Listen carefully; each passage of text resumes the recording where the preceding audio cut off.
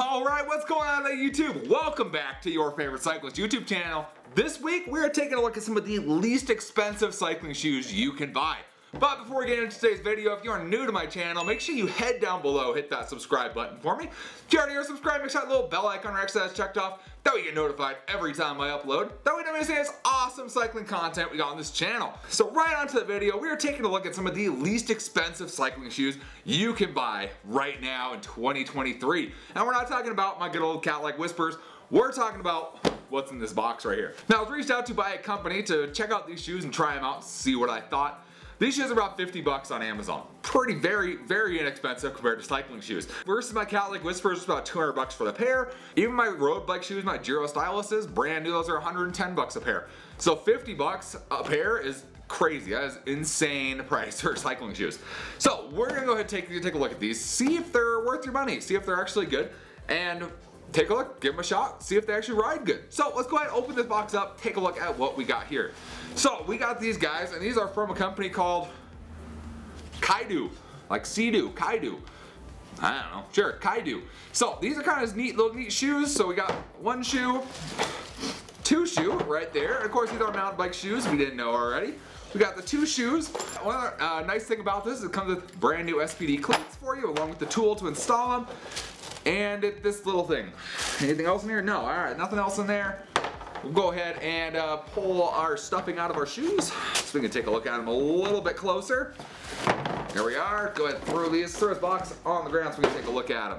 So, nice shoes. What is this thing? Oh, so they have the studs. Okay, I know what this is. So this, they actually give you this. This is to take the studs in or out that are on the front of the shoe. Oh, that's super cool. Instead of having to carry around a, you know, a wrench or something, you could use this. Nice and plastic, not gonna scratch up your shoes or anything. Cool.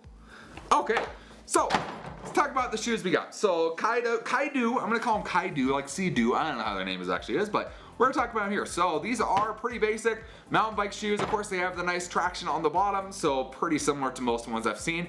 They have the studs up on the front, which most of the time I don't run, so like these have these I have the studs, I don't run them though just because they get in the way, but we'll run them in these. They're not as obnoxious as these are. These ones are pretty obnoxious, these ones I don't think are. So We'll give these a shot here. Of course, they got the two bolts on the bottom. They give you tons of the bolts that attach to the cleats because this is four already, and then there's another set in here, so that means, yep, another four on there. So I think you should be good, pretty, pretty good attaching your uh, your cleats to your shoes. Pretty nice bottom to them. Okay. So these ones, they do have the ratchet here. So the way I kind of always seen it is there's kind of three different levels to, uh, to mountain bike shoes. In general, you start off with just the Velcro, so just Velcro straps, three Velcro straps. Pretty basic. Then you go up to the one that has the ratcheting mechanism, like this one, where if you were to, where let's ratchet up, it'll tighten down and then you can pop this little button in or release. That's gonna be your next level. And then of course your top level after that's gonna be like the BOA straps like on here. They have the dial and the strap cross. So very simple. So they have a very nice attaching mechanism here with the two Velcros and then the ratchet. Pretty common, pretty common mountain bike one. Works really good. I've rode these, I've rode similar style for a long time and I found them work really well. Other than that, they are very, these are very padded on the inside, which can be a good thing, very padded. Looks like you got tons of ventilation on them, which is nice. You got kind of the hard, the hardened toe, which is good for mountain bike shoe. So you got that on there to avoid, you know, if you hit a toast to a rock strike or something, your toe's not gonna get damaged. Overall, nice looking shoe. So we got those right there. Of course, the biggest thing, so I have a big foot. So I'll say that right now, I have a big foot. So these ones, they size and looks like just Euro sizing is all I give you. So these are 47. These I think I are the same size. Actually, these are a size down. These are a 46. So this is essentially 11 and a half in US. This is a 12. 11 and a half fits me pretty good. They didn't have halves. They just had single sizes. So we're going to give this a shot. So I have big foot. I have wide feet. So if this fits, we're, uh, we're golden. So just grab a right shoe here. So loosen them up a little bit. Loosen the Velcro up. This is always the trick with these shoes. It's if they if they fit a wide foot. There are two different, some do, some don't. I'm really hoping these do. Oh, they fit! Yes! they fit, that means I can try them out.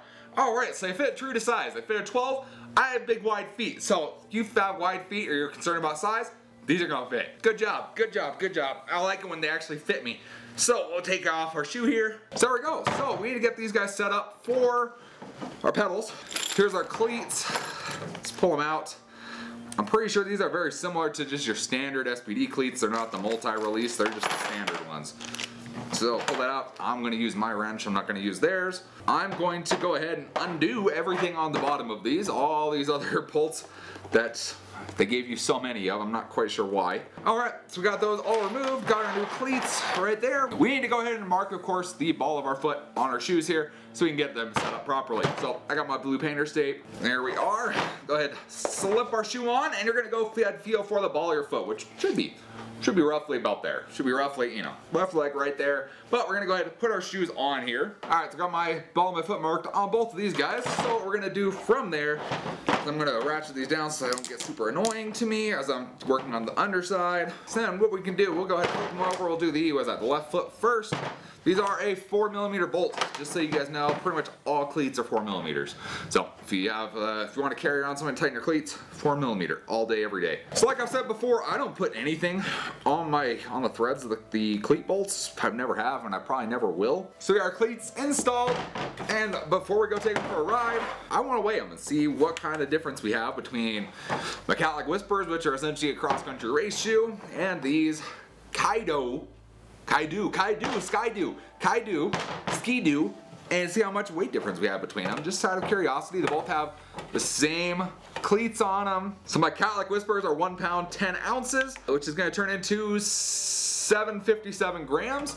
Let's go ahead, weigh our Kyedoo shoes here, one pound, 13 ounces, 830 grams. So realistically, there is not much difference in weight between these. Kind of surprised of surprised by that. These ones feel quite a bit heavier, but could just be because I've worn these like a million times. So I'm gonna go ahead, gonna put, I'm gonna put these on and I'm gonna give them a ride on the Superfly, which just so happens to be set up with SPD pedals on there so we can go ahead and try these out. Then I will come right back here and give you my conclusion on whether I think these shoes are worth your money or if you should buy something else. Okay, so, checking about for the quick span around my neighborhood know my glass is tinted. I really wish I could say I had all good things to say about these. But I don't. I have both bad and good things to say. So, let me get a little more in depth on what I'm talking about. So, the shoes themselves. I love them. They're great. They're nice. I rode on the block. They feel comfortable. They feel snug. They have a stiff sole, like a really stiff sole on them too. So, you're gonna be good. Along with that, the lugs on the bottom of this, they actually have like non-slip grip on them. So they, they hold pretty good when you're walking. You don't have to worry about slipping. These ones you have a possibility of slipping. I'm just gonna be real. As much as I want to say these have a non-slip grip, they don't. You'll slip. And a lot of mountain bike shoes you will. These ones do a pretty good job. My foot's not overheated, given it's not a warm day today. It's only like 40, but ultimately pretty nice shoe. I liked it. It's pretty nice. As you can tell, you do hit the front of those, which is probably why they give you the tool, but that's okay. That's what a mountain bike shoe is supposed to be for. Now let's talk about the bad. It has absolutely nothing to do with the shoes. It has to do what with what they came with. And that is going to be these cleats that came with those shoes. These are the most garbage cleats I've ever seen in my life. I tried to clip in with these. So these are just a standard Shimano M520. Pretty much the most basic standard clipless pedal you can buy from Shimano. I could not get one of these to clip in. The left one would not clip in to either pedal. And I took my all figure it out. I messed with the tension on my pedals, tried to figure that out, wasn't working at all. So I went ahead and put these shoes on. My, my cat likes and tried these out because they have Shimano, they actually have the Shimano brand cleats on them and they clipped right in. No issues at all. So, then I took these shoes off. Then I took these shoes and flipped them over. And I am met with the cleat looking like this. And they are chewed up. And I went, what the heck is going on here? And what I found to be the deal is, these are aluminum. A standard Shimano cleat is the standard Shimano cleat is steel. Crank Brothers are brass. You do not make cleats out of aluminum. The whole body of this pedal is steel. Anything you're trying to clip into is steel.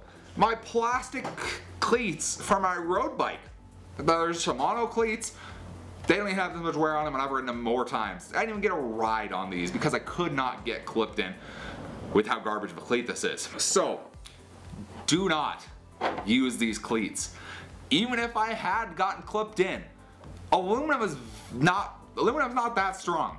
If you were to really yank up on those or get in a crash or anything, I guarantee you this cleat's gonna rip apart. I'm not gonna try it and I don't wanna try it. It's kind of a safety thing. You don't want this as your cleat. You want something that's strong, especially around Shimano's. Shimano's in general, Shimano pedals and cleats in general are pretty bulletproof. I mean, it's a steel cleat and a steel pedal. There's nothing that can go wrong. So, don't run their cleats. These are the worst things I've ever seen in my life. Do not run these, ever. Just chuck them. Not even worth your time to look at them. Just chuck them out of the box. Use a set of Shimano cleats. Go buy them and just use. If you don't, if you don't already have, if you don't already have Shimano cleats, go buy some. They clip in, no problem at all. They feel great. You're gonna want these.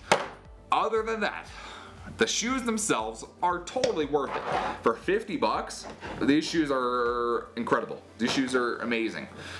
Like, for 50 bucks, for 50 bucks, I am I'm impressed.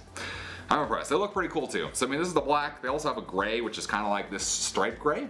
So check those out, but do not use the cleats. Use Shimano cleats or Crank Brothers cleats or whatever you're running, and you will be much, much, much happier. So, and then is the cheap is the cheap mountain bike shoe worth it? Yes. Do not use cheap cleats, use the brand cleats and you will be, you'll have a great ride. So hopefully you learned something in this video. If not, hopefully you found something at least entertaining. If you did, give this video a big thumbs up. Appreciate the support. Any comments or questions, let me know in the comments section down below. Let me answer any questions, love chatting with you as well, and we will see you in the next video. Thanks for watching today.